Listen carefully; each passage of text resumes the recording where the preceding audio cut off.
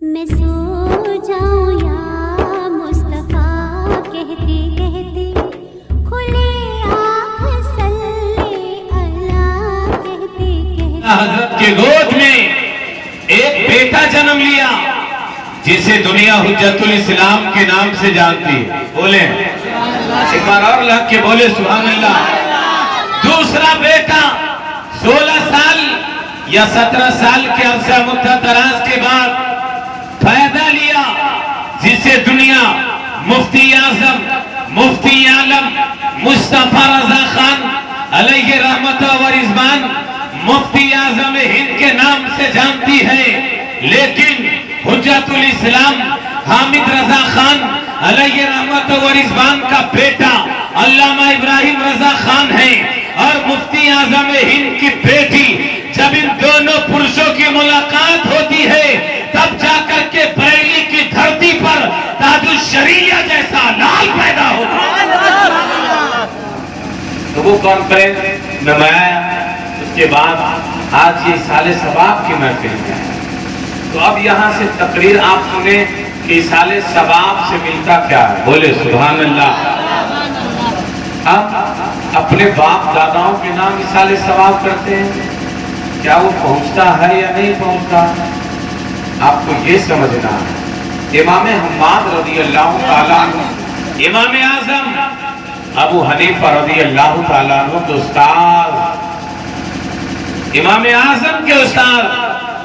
آپ ایک روز بغداد کی گلیوں سے کہیں جا رہے تھے، راستے سے گزر رہے تھے، قبرستان ملا، آپ تھک گئے تھے۔ آپ نے سوچا کہ اس سے قیمتی جگہ مجھے کہیں نہیں ملے گی۔ بولیے، سبحان اللہ۔ یاد رکھیں، یہ دنیا فانی ہے۔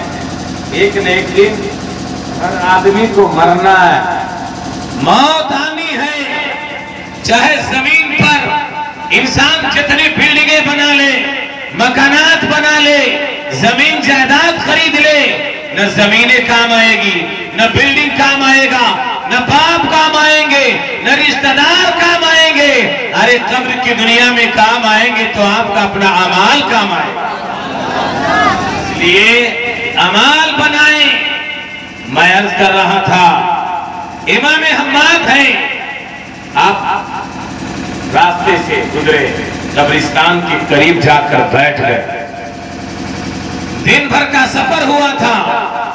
آپ تھکے تھے، سو گئے۔ جب آنکھ کھلتی ہے، تو کیا دیکھتے ہیں؟ کہ رات کی اندھیری رات ہے اور قبر کے مردے آپس میں گلے مل رہے ہیں۔ بولیے گا۔ آپ نے پوچھا قامت القیامہ اے مردو، کیا قیامت آ گئی ہے؟ مردوں نے جواب دیا اللہ اے امام حماد، قیامت نہیں آئی ہے۔ امام حماد پوچھتے ہیں، اے قبر کے مردوں ارے جب قیامت نہیں آئی ہے، تو تم لوگ آپس میں گلے کیوں مل رہے ہو؟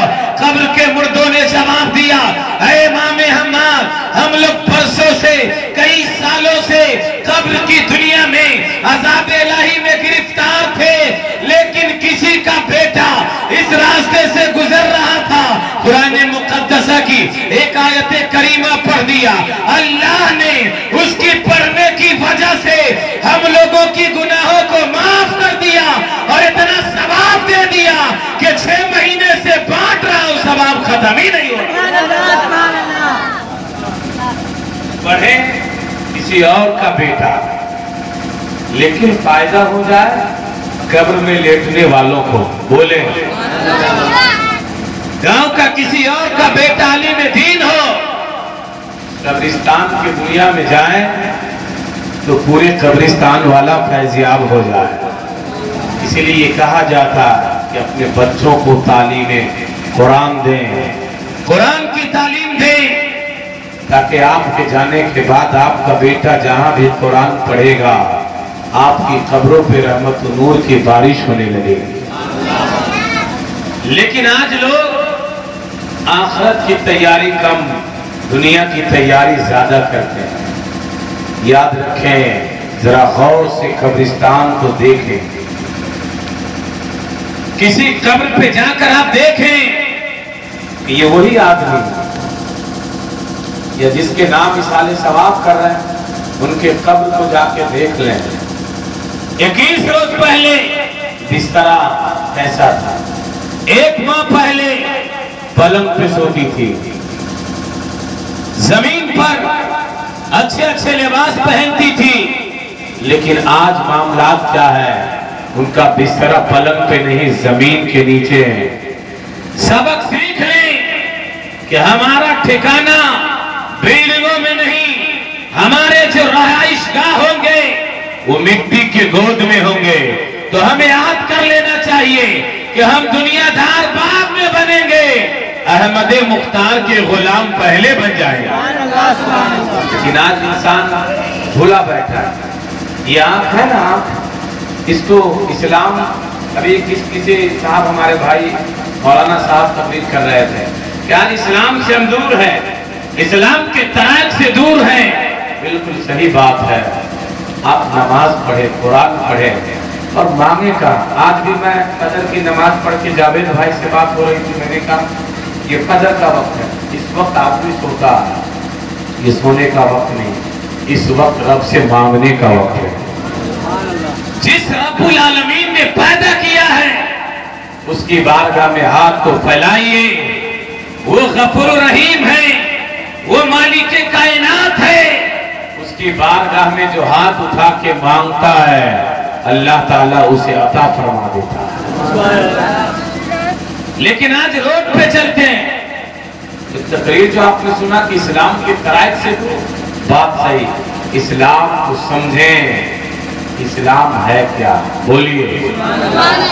علامہ برجنجی نے لکھا ہے آج ہمارے معاشرے کے نوجوانوں کو دیکھیے روڈ پہ چلتے ہیں تو ان کی نگاہیں دائیں بائیں۔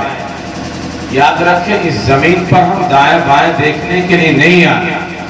ہو سکتا ہے کہ دنیا داروں کی محبتوں میں یا کسی کے حسن کی محبتوں میں اگر انسان مبتلا ہو گیا۔ یاد رکھے ہو سکتا ہے کہ نظر کے عالم میں وہی وقت آ جائے۔ جو کام دنیا میں کیا تھا اسی کی وجہ سے امال برباد ہو جائے۔ علامہ برجنجی نے لکھا ہے کہ ایک نوجوان تھا جو بڑا پیسہ والا لیکن ایک خوبصورت حسین و جمیل لڑکی روڈ سے گزر رہی تھی۔ اسے حاجت تھی باتھ روم میں جانے کی۔ اس نے کہا، نوجوان سے کہ مجھے باتھ روم میں جانا ہے۔ لیکن اس نوجوان کا نظر کا عالم قریب تھا۔ علامہ بجندی لکھتے ہیں۔ مرنے کے وقت میں وہ پوچھ رہا تھا انسان تو مرنے کے وقت کلمہ پڑھتا توبہ دعا کرے کہ اللہ تعالی ہم سبوں کا خاتمہ ایمان پہ اللہ نصیب عطا فرمائے۔ آخری اگر خاتمہ ایمان پہ ہو گیا یاد رکھے آپ کا بیڑا پار ہو گیا۔ علامہ پرچن جی لکھتے ہیں۔ وہ نوجوان مرنے کے وقت کہہ رہا ہے آخری وقت میں وہ حمام والی لڑکی کہاں ہے؟ وہ باتھ روم والی کہاں ہے؟ علامہ پرچن جی کہتے ہیں کہ لوگ پریشان ہو گئے۔ حیران ہو گئے۔ کہ مرنے کے وقت تو انسان کلمہ پڑھتا ہے روتا ہے لیکن یہ نوجوان کسی لڑکیوں کی تلاش کر رہا ہے۔ ان کے دوستوں سے جب معذرہ پوچھا دوستوں سے جب پورے حالات کا جائزہ لیا، تو خبر ملی کہ ایک لڑکی نے اس سے راستہ پوچھا تھا، باقی حاصل کرنے کے لیے، لیکن اس نے اپنے گھر کا راستہ بتا دیا۔ وہ لڑکی باتھ روم میں گئی، ادھر یہ دروازہ لگ کر دیا۔ بولا، آج میں تجھ سے اپنا شوق پورا کر لوں گا۔ وہ لڑکی بولی، سن، تجھ سے زیادہ ضرورت مجھے ہے۔ اتنا کہنا تھا۔ نوجوان سمجھ گیا کہ اب تو میرا کام بن جائے گا۔ لیکن لڑکی بولتی ہے، اے نوجوان سن لے، پہلے پیٹ میں کھانا دے دو، اس کے بعد ہم لوگ عیاشی شروع کریں گے۔ ادھر یہ گیا حلوہ پوری لانے کے لیے۔ ادھر لڑکی فرار ہو گئی۔ باپ کو قریب کرے۔ ایک بار زندگی میں غلطی کیا تھا۔ کسی کے ساتھ ارادہ کیا تھا لیکن مرنے کے بعد نظر کی عالم میں اگر پکار رہا ہے۔ تو غوث کو نہیں پکار رہا ہے۔ خواجہ مرشد کامل کو نہیں پکار رہا ہے۔ پکار رہا ہے جو دنیا دار عورتوں کو پکار رہا ہے۔ اس واقعہ سے سبق سیکھ لیں کہ ہمارا جو دنیا بھی گزرے تو ہم روڈ پہ چلیں، تو لوگ دیکھ کر کہہ دے یہ کوئی اور نہیں جا رہا ہے۔ تاج الشریعہ کا غلام جا رہا ہے، اعلیٰ حضرت کا شہدائی جا رہا ہے، غریب نواز کا غلام جا رہا ہے ارے دیکھ کر کے پہچان لے کہ لوگ کہنے پہ مجبور ہو جائے کہ ارے مذہب اسلام کے ایک عام آدمی کا جب یہ عالم ہے تو ان کے ولیوں کا عالم کیا ہو سکتا ہے۔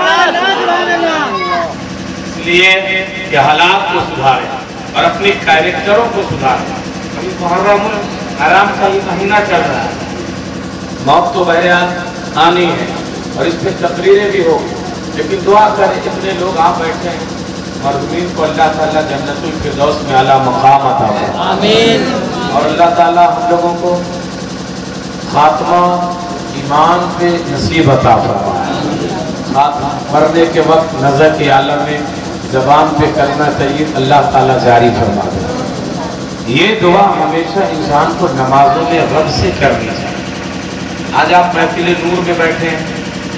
یاد کریں جس کے یاد میں بیٹھے کہ موت کبھی بھی آ سکتی۔ ان کی کوئی خاص عمر نہیں تھی۔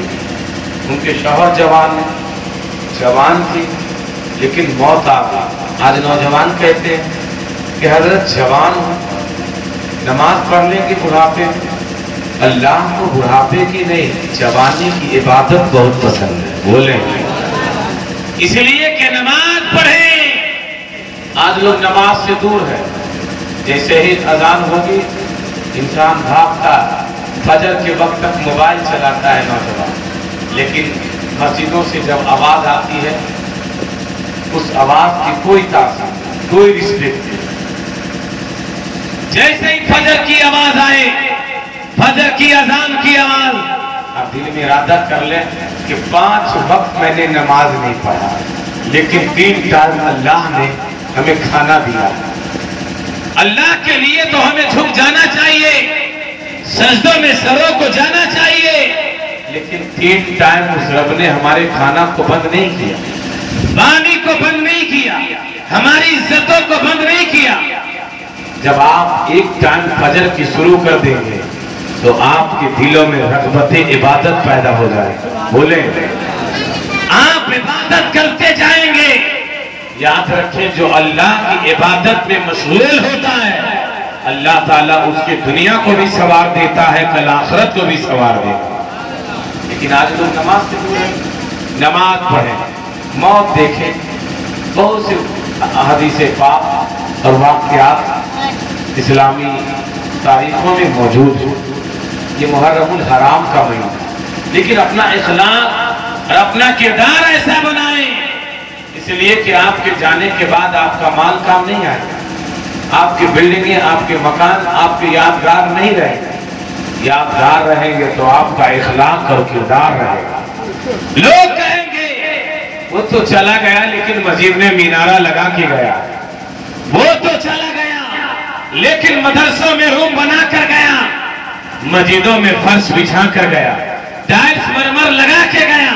کام ایسا کر جائے کہ لوگ یاد کرے یا نہ کرے جو اینٹ آپ نے دین کے نام پہ لگایا ہے، وہ اینٹ آپ کے لیے دعائیں خیر کرتی ہی نظر آئے کنز العمال میں ایک حدیث ہے کہ جب انسان اللہ کی راہ میں ایک اینٹ اگر صدقہ کرتا اللہ کی راہوں میں تو اللہ تعالیٰ اس آدمی کے مرنے سے پہلے جنت میں ایک مکان رجسٹریشن کر دیتا ہے۔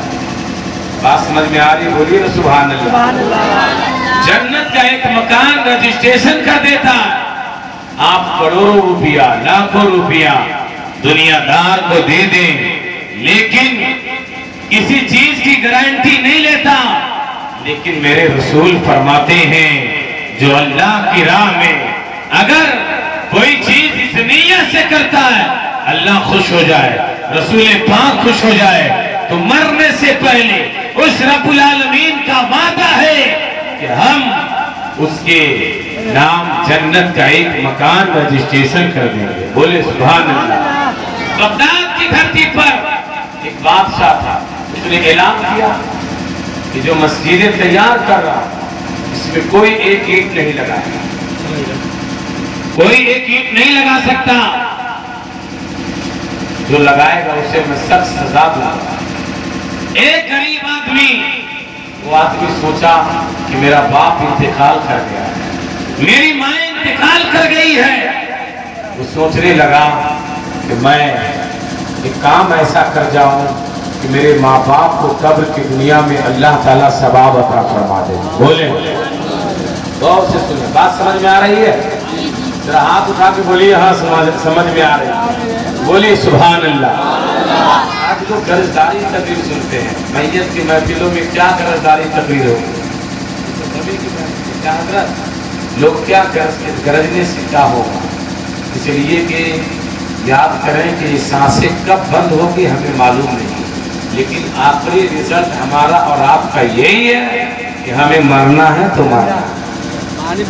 ہمیں قبر کی دنیا میں جانا ہے۔ اس لیے کہ اپنے امال کو سدھاریں۔ کوئی کام نہیں ہے۔ سانس بند۔ جسم پہ جو کپڑے ہیں وہ بھی اتر جائے۔ گا گھڑی ہاتھ میں وہ بھی اتار لیے جائیں گے۔ یاد رکھیں کہ اپنے آپ یہ نہیں معلوم کہ کون سے کفن ہوں گے۔ کفن کہاں سے لایا جائے گا؟ اور جو کفن ہوگا، وہ بھی وہ دھولا ہوا بھی نہیں، مارکیٹ سے لاتا ہے، آدمی اسے ہی پہنا دیتا کام ایسا کرے کہ ہمارے جانے کے بعد لوگ اپنے گھروں میں سالے سواب کریں کہ جانے والا نیک بندہ تھا۔ اور جب نیک لوگوں کے نام پہ اثال سواب کیا جاتا ہے تو کرنے والوں کو بھی فیض ملتا ہے۔ اور جن کے نام کیا جاتا ہے ان کو بھی ان کا سواب مل جاتا ہے۔ ایسا کارنامہ کرے میں عرض کر رہا تھا کہ بغداد کی دھرتی پہ بادشاہ نے لائے تھے کوئی ایک ایک نہیں لگا سکتا ہے۔ لیکن ایک غریب آدمی سوچا، میں اپنے ماں باپ کے نام تو ضرور اس میں ایک گیت لگاؤں گا۔ جنگل سے جنگل سے لکڑیاں کاٹ کے لاتا تھا۔ اسے بیچ کر کے کھانے کے لیے رات میں تیاریاں کرتا تھا۔